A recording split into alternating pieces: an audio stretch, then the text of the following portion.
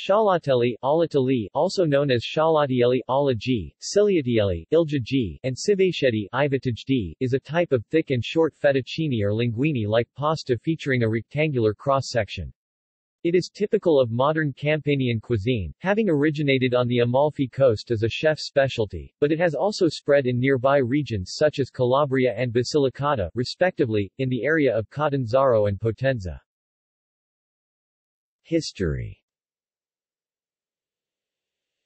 Scialatelli is a recent innovation, compared to many other pasta shapes from Italy.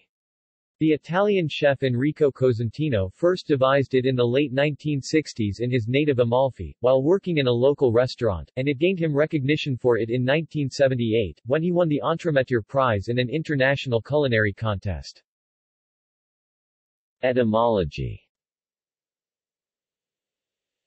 Scialatiello, singular for scialatielli, may come from Neapolitan ciliatiello or ciliatiello, a derivative of the verb cilia, to ruffle, and it roughly translates to ruffled. Just like ruffled hair, scialatelli indeed look like ruffled strips of pasta when set in a dish, as each strip has a slightly irregular shape after being handmade and plainly cut by a kitchen knife.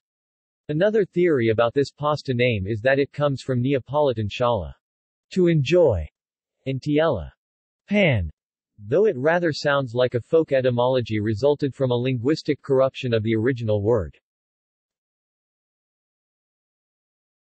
Notes. References